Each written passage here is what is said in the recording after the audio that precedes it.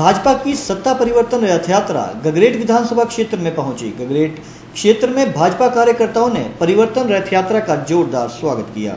हमीरपुर लोकसभा क्षेत्र के सांसद अनुराग ठाकुर ने रथ की अगुवाई की, जबकि स्थानीय नेताओं ने अपने समर्थकों के साथ शक्ति प्रदर्शन किया।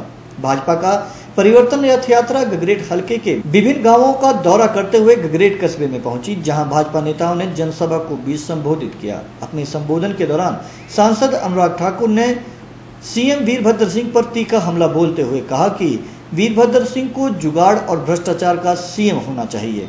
उन्होंने कहा कि प्रदेश की जनता ने उस व्यक्ति को प्रदेश की कमान सौंप दी है, जिसे खुद कांग्रेस ने अपने मंत्रिमंडल से बाहर किया था।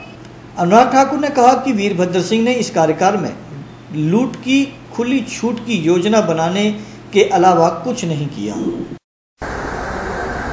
कई बार मैं भावुक भी होता कई बार तो लगता था कि जनता ने उस आदमी को प्रदेश का मुख्यमंत्री बनाया, जिसको स्वयं कांग्रेस पार्टी ने अपने मंत्रिमंडल से निकाला था, जिसके खिलाफ डॉक्टर मनमोहन सिंह जी ने स्वयं सीबीआई की जाँच बिठाई थी।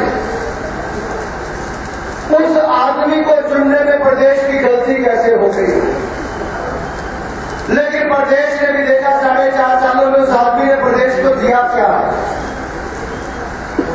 वो प्रदेश को तो कुछ नहीं दे पाया। मुख्यमंत्री के पद पर बैठकर जेल जाने की बजाय जेल लेने तक अपने लिए जुगाड़ करता रहा।